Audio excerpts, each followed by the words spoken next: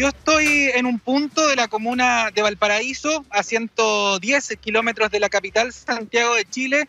Una imagen que ha dado mucho que hablar y que tiene que ver justamente con este contenedor, con este container que fue instalado en las afueras del Hospital Carlos Van Buren de Valparaíso, el hospital base de la comuna, y precisamente responde a la cantidad de fallecidos que hay en la región de Valparaíso, en esta zona puntualmente en la comuna de Valparaíso.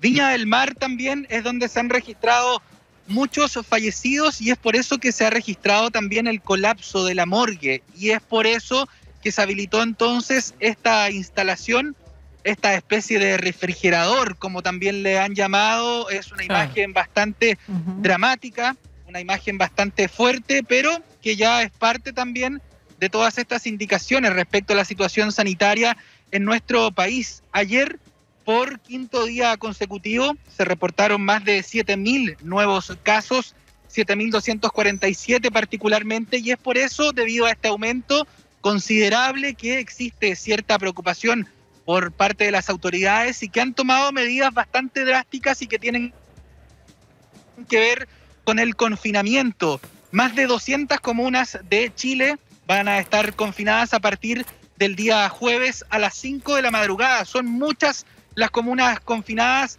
y esto va de la mano también con la situación económica, con las restricciones para los trabajos y con la alta movilidad que de todos modos se puede ver en las calles. Yo estoy ubicado en las afueras del Hospital Carlos Van Buren, en una calle céntrica de la comuna de Valparaíso que está en cuarentena.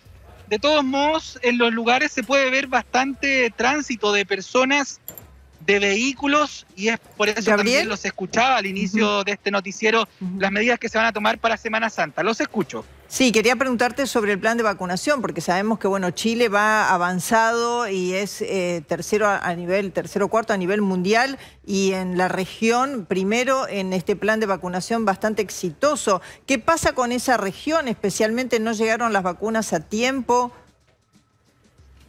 Sí, yo he estado en conversación con distintos especialistas epidemiológicos y que han señalado que la vacunación por el momento no está influyendo en el nivel de contagios, puesto que sí, el número de chilenos vacunados es bastante alto en comparación al resto de la región o de los países del mundo y que ya alcanza cerca de 5 millones de personas que han tenido su primera dosis y que están en proceso de la segunda, 3 millones, pero eso no es suficiente para generar la inmunidad de rebaño, según han comentado los especialistas, y que por el momento la vacuna no sería definitiva en este sentido para causar más o menos contagios.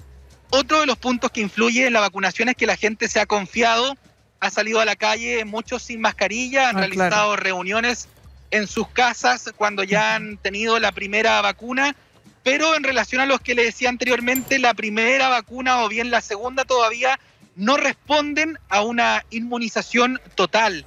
Eso es en cuanto a la vacuna que, como ustedes dicen, ha avanzado, ha llegado a gran parte de las comunas de nuestro país. En Valparaíso la situación está mm, bastante positiva, pero son 5 millones de personas de un total de cerca de 19 millones. Entonces es ahí cuando los médicos dicen esto tiene que hacer inmunidad, pero durante los próximos meses. Bien, Gabriel, muchísimas gracias por la información. Buenas tardes. Bien, buenas tardes.